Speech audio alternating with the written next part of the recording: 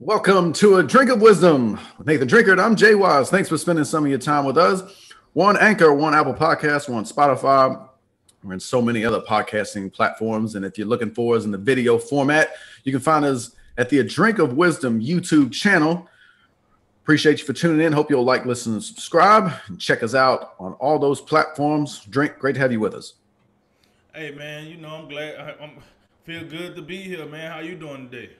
I'm doing great. Lots of lots of great stuff to get into. Got a four four segment variety package here today. Right, right, right. You know what I'm saying? Sometimes we get the opportunity to show our versatility, our diversity, however you want to look at it. And um, I think that's where we at today. So, you know, not to prolong us in the, in a longer, you know what I'm saying? We see what they don't, we say what they want. And last but not least, let's talk some sports, baby. Let's roll, baby. All right, episode 66. We're going to unveil our top 10 NBA players, debate the NFL's new COVID policy, and what's in a name in terms of Cleveland base of Cleveland baseball. We'll explain. We begin back in college football. An update to the story we brought you on Thursday in Thursday's show, where Texas and Oklahoma that move to the SEC appears to be some sort of imminent, based on reporting uh, by ESPN's David Hale. Uh, it appears that they could make their move official in a matter of weeks. Uh, and even more than that, the SEC, it appears that they're eyeing even more expansion with the likes of uh, Ohio State, Michigan, Clemson, Florida State, which would uh, massively change the landscape of college football. Drink, what's your reaction to all this news? It, listen, um, every day, I, I, I, I would uh, bet to venture that as we speaking right now, it's probably something going on right now with the with the SEC and adding more teams. It, it seems to me that I know the SEC and Texas and Oklahoma are the, the, the headline names of all this, but it seems to be a little bigger than that. It, it seems to me that these conferences, um, and when, I'm talking about the Big 12, SEC, ACC, and Big 10, not necessarily the Pac-12 as much. Um, it, it seems like they're really looking to try to figure out how to get out of their current situations. They want to make just. It seems they want to make one super conference, or either they want to make it. And and, and um, I think George, um, our our illustrious form, you know, host out here doing what he do. You know, shouts out to him and everything he got going on. He sent the, a message in our group chat where he was talking about like it's it's a possibility that the college football could turn into the NFL and we could have more of an NFC versus AFC look. It seems to me that that does the more I listen to this, that does seem to be like what the SEC trying to do. So if you if you create like one side and you let's say um they pull in Texas and Oklahoma, right? And then they still in, in talks to either get Ohio State, Michigan, Clemson, or Florida State into the mix. And then what I would see is the rest of the teams, because it, it still be some good teams left, right? The rest of the good teams would, you know, take their talents on the other side and create like somewhat of a super conference where you have, let's say Clemson don't go. So you have like Clemson, um, Oregon, you know, Michigan State, Penn State, um, and, and it probably wouldn't be what you would consider the elite of the elite, but it'll be enough to where you you can create another side and then build something off that other conference. But like I was telling you before we got on this subject, what what I what I'm starting to actually um, I think comprehend with all this is it, it goes back to the old adage that college football needed a commissioner. They need one person calling the shots. I ain't talking about the NCAA chairman that you know gets to pick and choose when when they put their um, their hard hat on and go to work. Hence the um, women's college basketball tournament. We, we see. That.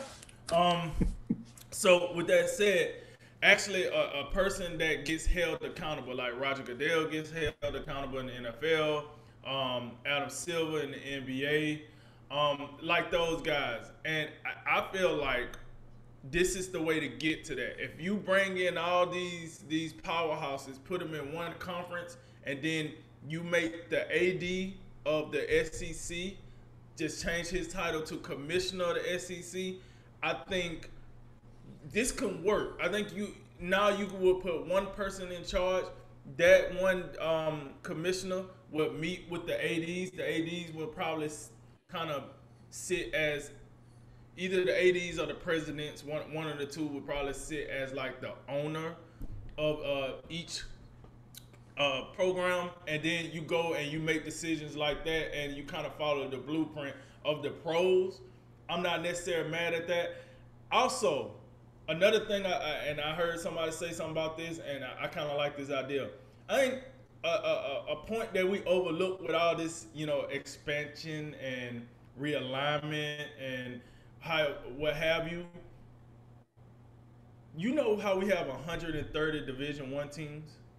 Mm-hmm. Well, if we're keeping it real, I think only 80 of those 130 teams really got a shot at playing in the playoffs in the in the um, FBS playoff that is. And what I like about this whole, if this happens, if if if Texas and Oklahoma leaves, which seems to be like this is gonna happen, they're gonna go off and then they're probably gonna disband the Big 12 I, I like that simply because I think we're going to get rid of a whole conference. And I feel bad for the Big 12 that we're getting rid of that conference. But I do like that the numbers will go from 130 to like 80 or something like that once they get done realignment. Because I don't think it's 130, you know, good Division One teams. So we drop it down to 80.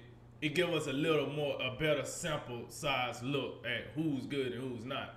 Wouldn't mind if they cut it down to 60, but you know, whatever. Um, so as I look at that, I don't think that's necessarily a bad thing either. Now, I want I want to you know highlight something that we talked about on Wednesday because everybody's locked in on Texas and Oklahoma going to the SEC, and everything I read says that they're moving.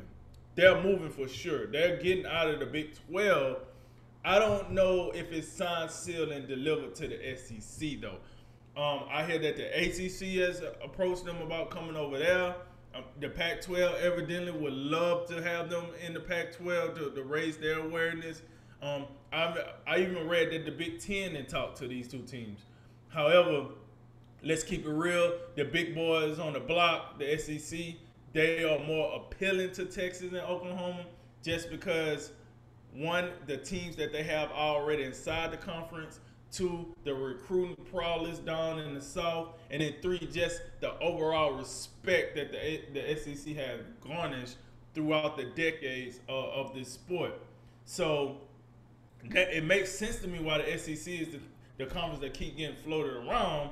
I don't necessarily think they're the only conference.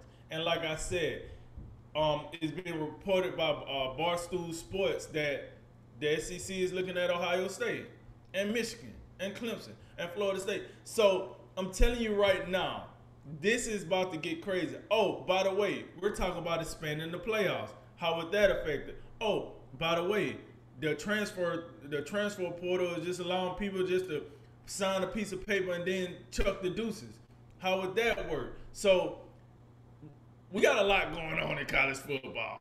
We got a lot going on. We got realignments. We got a new playoff format they want to introduce. We got you know, the, the, the, transfer portal seems to be the place to recruit from now instead of the actual high schools. We got oh, and did I mention the NIL? We got that going on as well. It a lot is going on, and you you'll be out of your mind if you don't think the NIL got something to do with Texas and Oklahoma going to the SEC as well.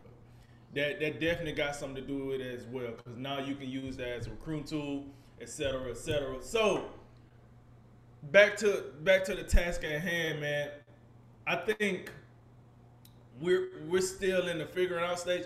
I wouldn't be surprised if come Wednesday or what come Thursday when we do our next show that we'll be talking about this again because we're gonna get more and more developments.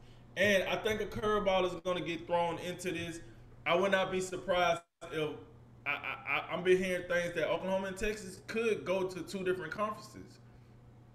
Hmm. Um, they they want they want to go to the SEC, but hey, What if Oklahoma is promised to be the mainstay in, in, in the Pac-12, or Texas is promised to be, you know, the headline in the in the Pac-12, but Oklahoma want to go to the SEC, or vice versa. You know, um, it, it, it's nothing to the SEC to say, okay, we'll take Oklahoma and then we'll go holler at Florida State and see what what they think about coming to the SEC.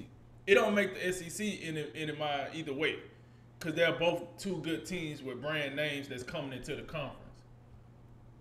And by the way, if Oklahoma did come to the SEC, I seen a poll by some pretty prominent people that says Oklahoma will be the second best team behind Alabama in the SEC. Just throwing it out there.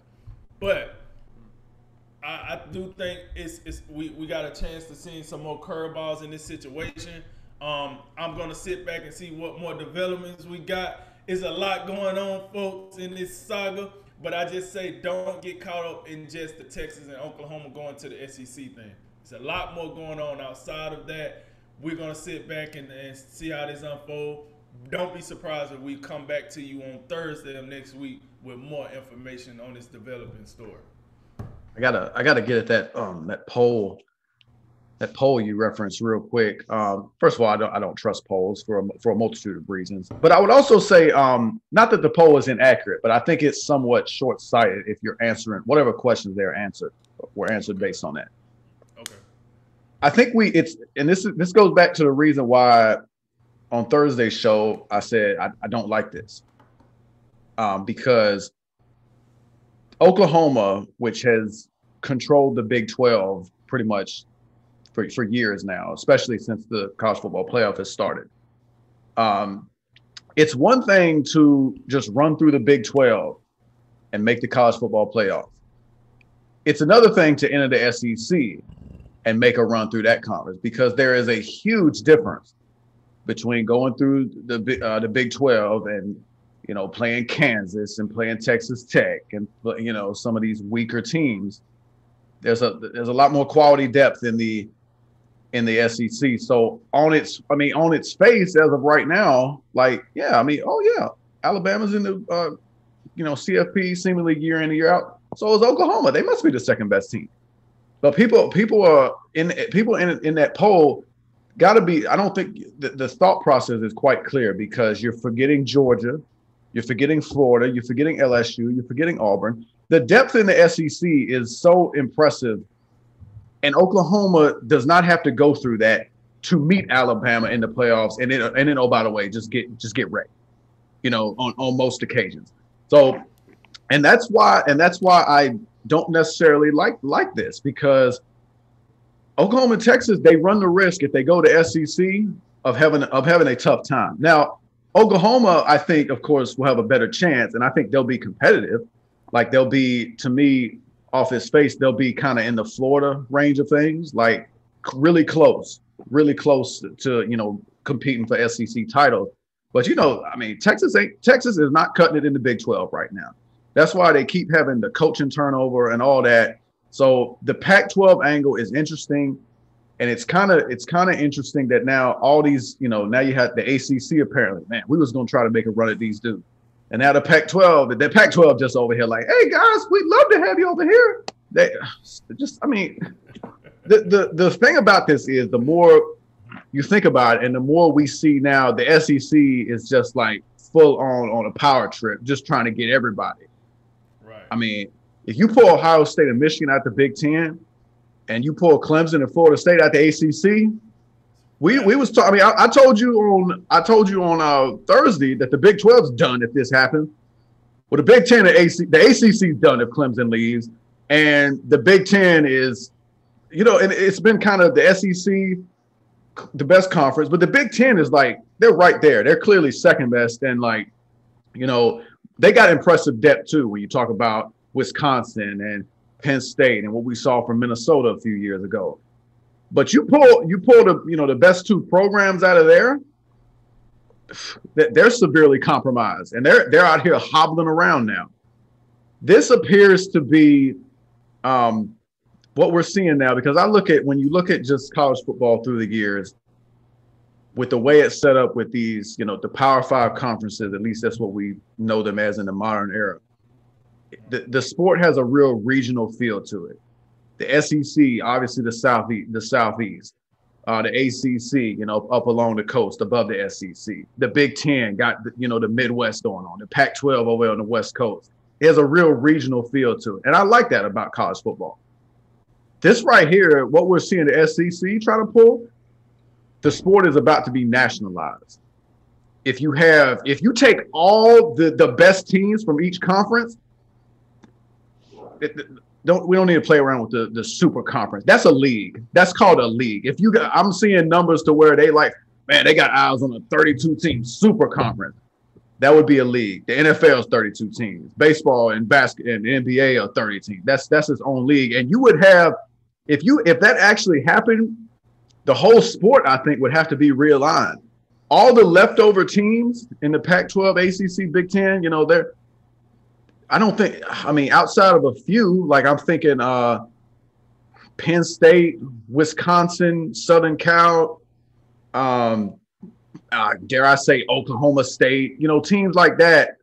Could they potentially like have a chance to like compete against this uh the SEC, which probably would have to be renamed if you bringing in all these other teams? They're not going to have a chance. So I think you would all you'd almost have to have a situation where you go back to um, Division One, Division Two. Like the SEC would have to be its own division because I don't think if you just stack one conference with all the best teams, I mean, what chance? I'm talking football again. What chance does poor Kansas have in any in any event? I mean, and then Arizona and you know poor Virginia over here. What we gonna do? You know, like it's. I think you have to. I mean, I guess my pushback is, what chance do they have anyway? Like, at the end of the day, like, I think it would be good for the sport to pro- progress that way because when these kids go to these schools, what are they trying to do anyway? They're trying to prepare themselves to go to the professional level. Mm-hmm. They're trying to. Pro- I, I, got it, the school and all that, I, education and opportunity. Yeah, I got that. But for the most part, now that they're getting paid, they're they're trying to prepare themselves to go to the next level. If you turn college into that, listen, first and foremost, college football ain't nothing but a development ground for the NFL anyway. Mm-hmm. That's what it is. That's where they pull most of their data from. That's what they look at. That's where they get it from. I don't think it's necessarily bad if you turn college football into a, a 30 league and get and cut the riffraff cut the BS bowls that we gotta watch. Sorry, we when you turn on ESPN, the the the main event game ain't BYU versus Coastal Carolina. Like, I I, I feel like this is ne- not necessarily bad for the sport unless you're just crying about the little schools that, that that don't do anything anyway. That's why they're the little school. So I wouldn't mind this whole league thing to be honest. I, and if you got enough teams where you can make it, you know, West versus East or however you want to name it, then I, I would be for that too. Cause it's about time for us to get rid of the the, the um I don't know, man. These, these group of five teams, most of them I don't care for. Listen, North Dakota State is more popular than half of the group of five teams. Like, let's be real here. Matter of fact, if they can, they should pull North Dakota State and pull it into one of these leagues because whoever running the show down there know what the hell he doing. So put him in here, and we'll get um some of these other te- Tulane.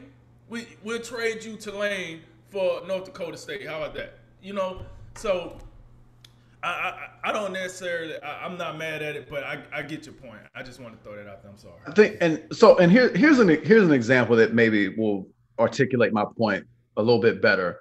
And I'm and like the whole group of five thing, I'm not worried about them anyway because th- those are the teams that really don't have much of a chance. I mean, we we just saw we've seen the best of Central Florida. We've seen you know what Cincinnati did last year. I thought they had a great season and should have been you know a little bit strong consideration for the playoff. But I'm not necessarily worried about that. I'm worried about the teams that are in Power Five conferences that it it's not outside the say again. I said that don't matter. Well, I mean, well, I mean, for well, for example, if we're going off Ohio State, Michigan, Clemson, Florida State, and there are probably more, but think about team, think about the Penn States and the Wisconsins, teams who I understand they haven't made the playoff yet, but it's not side, it's not outside the realm of the imagination that they could make it at some point. If this happens, if the SEC just balloons to a 32 team conference or league and Penn State and Wisconsin don't make the club, then they won't make the playoff ever. Because well, why, it, at least that's how I see it. If it's 32 teams, why wouldn't they make it? I think you, you well, you, dep- you depending. Penn State and Wisconsin is amongst the top 32 teams in the country. They, they are, but th- but then that begs the question: How much expansion are you going to have? If you're going to have, if you're going to do perhaps 16, then yeah, they probably they got to probably have a chance to make it in. But what I'm talking about more like currently what we have now in a 14 playoff scenario. If the SEC went to 32 teams, the the there would be a an easy argument, I think, that the four best teams are just going to be inside that conference. I think it would be very hard for another team outside of there to break in. The other thing is, think about this. Suppose this happened, let's just say 10, 15 years ago, and you had a 32 team super conference. You, Clemson would not be what Clemson is now. They wouldn't have a chance, I don't believe. That we wouldn't we wouldn't know about Dabo Swinney not to this degree, because Clemson, you remember 10, 15 years ago, they were a middle of the pack ACC program that didn't do a whole lot. And if you had a 32 team conference uh, league or conference back then, I don't think Clemson, I don't know if Clemson's getting the invite because, I mean, face it, look, the SEC is going for the brand name powerhouses. When you talk about Texas, Oklahoma, Michigan, Ohio State, and Clemson of today, but back then nobody wants. I don't think I don't think the SEC would be looking at Clemson. So uh, I'm really the similar to how I was on on Thursday. I'm uncomfortable with this. I don't like it. Um, now it could. I mean, there's some little bit of interest to packing all of the 32 best teams and saying let's go. But I mean, I think you're gonna have to like re- realign everything at that point, and you're gonna have to go. But like the whole group of five thing we have now, like I think you'd have to say like Virginia, Washington State, Kansas, like they'll they'll have to be group of five status too. And and another thing I notice is what I don't hear is we're talking about the SEC grabbing all the best teams. I haven't heard any of the Pac-12 teams being linked to the SEC. I haven't heard Oregon. I haven't heard USC. So it's, I mean, yes, the SEC seems to be wanting to get all the best teams, but it don't seem like all of them. Because I think it's a case to be made if we put it that way that Oregon should be in this conversation somewhere. Yeah. And, and, and you know, I know USC has been down, but I mean, still USC.